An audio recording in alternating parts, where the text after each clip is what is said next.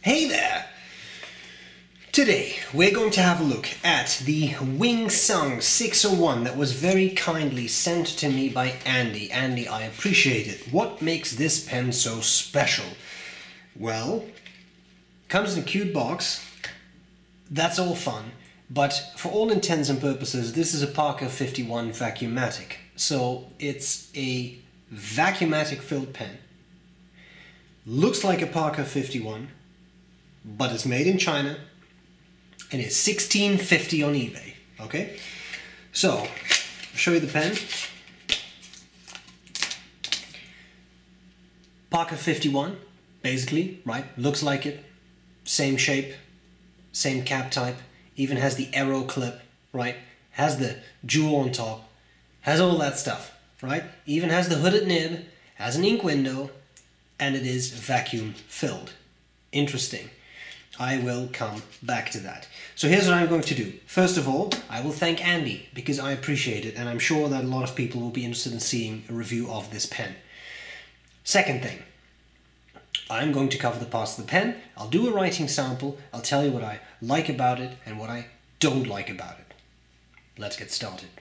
Okay, so let's have a look at the Wing Sung 601. It comes in this little box. It's a very simple cardboard box, uh, so nothing nothing fancy, but, but lovely work. Uh, then we have this rather extensive manual uh, that has the words the words fountain pen in English, and uh, beyond that URL, that's that's it pretty much. So this is all uh, in Chinese characters, which which I can't read, but of course there are pictures, uh, which are relatively clear, I would say, and they even have disassembly instructions, which are very interesting. I'll come back to that in a second. Uh, then there was this little cardboard thing that the pen was clipped onto, uh, which is yeah cute, right? Uh, and then of course you have the actual pen. Now, as I said, the pen, Parker 51, right? Let's be fair. But not just any Parker 51, but a Vacumatic Parker 51, which is kind of interesting. Also included was this, and that is rather interesting. A little, this looks like a strange contraption. Um, in itself, a converter, right, which has been converted, see what I did there, into a tool filled with silicone grease. So a little syringe basically has a little Oh, oh, that that that popped with way more noise than I thought it would.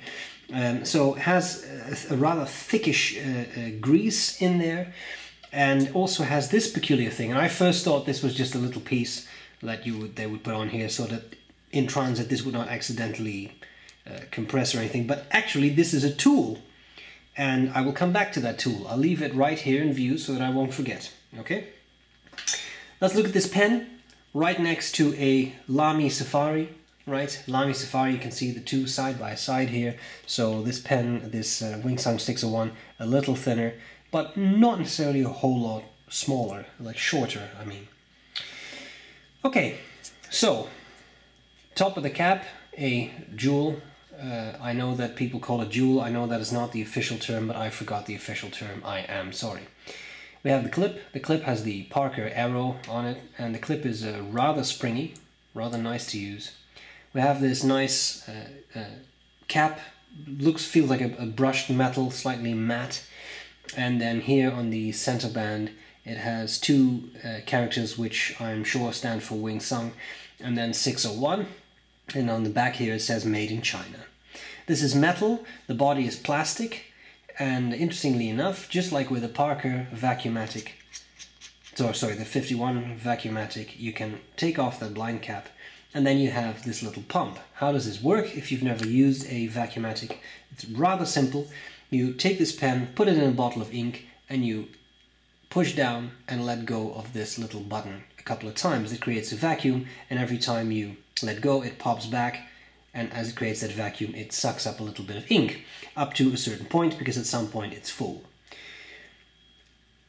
This little thing is a tool and this tool fits over that assembly, a little bit of fiddling right there. You easily unscrew this, gives a nice bit of grip. I won't do it now because I have ink in here, but trust me, if people want to see that, let me know. I will do a quick video on how to disassemble this pen and, and service it. It's, it's not that hard. I mean, it's not that hard for me to do, that's no problem. Um, but you just unscrew this, very simple, and then you can put it back together like this too. So it's actually rather nice that you get such a complete set uh, for, for a pen of this caliber, I would say. This blind cap screws back in place. Then we have the barrel, and it's a pretty nice fit. There's not an enormous seam or anything. They've, they've done a nice job on this, in my mind. And then you have an ink window even. So I'm, I'm, I'm just letting the ink flow back. Uh, there you can, I think you can see it. It's a little hard with the reflection. Let me see if I can, there you go. So you can sort of see through that nice clear ink window, you can see the ink level. And there you go. Now there's ink all the way to the bottom. Section, section does unscrew. Looks very much like a, a Parker 51. So there's a collector, there is a little uh, breather tube, there is the feed, and there is the nib. And the nib wraps around the feed. And this is uh, how it came out. Now, just in case you're wondering, I did take it apart once, and I think I should put that feed in a little bit farther. But it, it writes as is. Let me just, yeah, it writes as is, so I think it will be fair for the writing sample. Um, it, it, it writes now exactly as it wrote before. So, a Vacumatic type fountain pen, right? $16.50, okay, on eBay. That's what I found them for. Whole bunch of colors and finishes available. This is a gray one, but there's other colors, other finishes if you if you prefer that. And the nib is fine. I could not find another nib. Maybe they are available with other nibs, but I, I could only find a fine nib. And for the record, that 1650 does include that little uh, converter full of grease and the little tool. So I think it's a, it's a pretty complete package. Let's see how this pen writes. Right, right. Yes. Just checking to see if I somewhat zoomed in there, but I think I did. Okay. So, the pen posts comfortably, just like a 51. And here we have the, oh, there's a weird W, but Wing Sung uh, 6 actually. I wanted to write 51, you see. 601, and uh, I think that's it. I don't think there's any other indications. F, and the ink is Waterman Blue Black.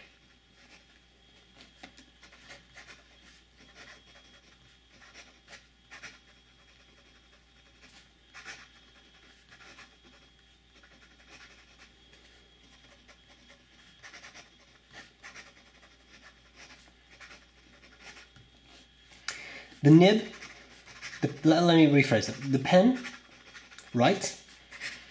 I found it actually to be a reliable writer. Doesn't run dry very easily. But it's not the world's smoothest nib. It's very simple.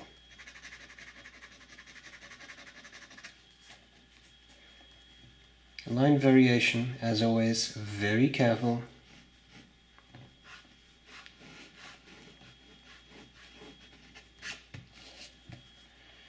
Reverse writing. You see there is not a whole lot of line variation possible with this, but you can write upside down. To be fair, it's a pretty fine nib to begin with, but I would say it goes a grade finer, right? Okay. There you have it. Let's see what I like about it and what I don't like about it. What if I did the rest of the video all like this? Too much, too much zoom, too much zoom. All right. What do I like? What do I not like about the Wing Sung 605? Well, I, I have to be honest. I think there's a lot to like. Um, such as, first of all, I love the fact that you get such a complete set. You get the pen, you get a basically syringe with grease to keep the mechanism working. You get the tool to disassemble the whole thing. 1650. That's not bad. It's affordable. That's another nice thing. In general, it's affordable. Irrespective of the accessories you get along with it, it's pretty affordable. It's a large capacity because that vacumatic system that draws up quite a bit of ink, so you will actually write with this for quite a while, which is useful which is kind of fun, right? Some people would really love to have a Parker 51 Vacumatic, they may not be able to afford one. In that case, this is an option. Because I'll be fair, for all intents and purposes, it's a Parker 51 Vacumatic. It has the filling system, it has the hooded nib. It looks like it, it really does. It's not an imitation with a Lamy clip or something that's out of place. It looks, especially from a distance, it looks like a 51 Vacumatic. So in that regard, it has a lot going for it. And the final thing that I particularly like is it has an ink window so that you can actually see how much ink you have left, given that you cannot easily unscrew the section to quickly check the amount of ink left in the converter, for example. So that really is not that terrible. Other things I don't like so much. Yes, there are two things. It doesn't feel the exact same way like a Parker 51. It feels a bit cheaper. The cap feels a bit lighter, feels a bit cheaper. The whole pen feels a bit cheaper. But again, if budget is an issue, who cares? If you want to buy an affordable pen to give to a younger person, to give to someone that you think may be interested or may get interested in fountain pens, you could do worse than give them this because I will say this.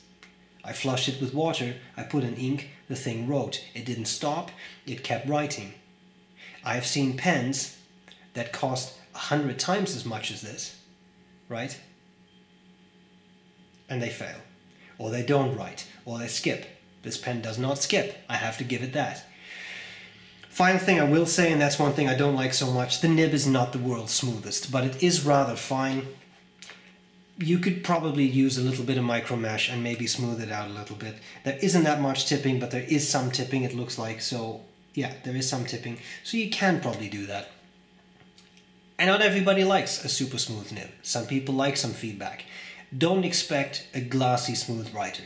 If that's your expectation, it's a realistic expectation. I don't think there's anything wrong with that.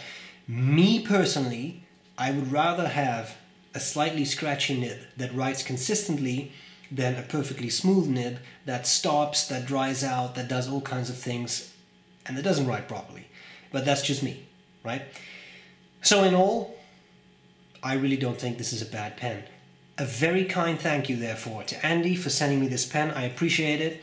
I'm sure that everyone else appreciates it too because now I was able to review this pen, which is very lovely.